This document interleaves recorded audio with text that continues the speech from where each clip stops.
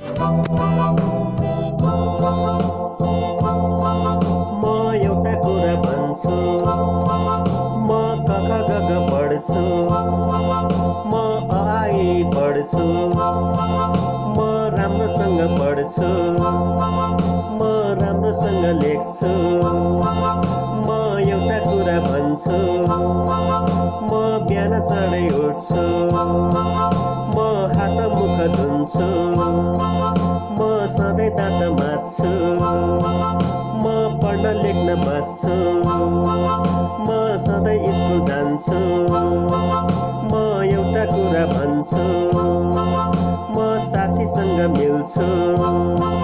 म राम्रोसँग पढ्छु। म घरमा पनि पढ्छु। म राम्रोसँग लेख्छु।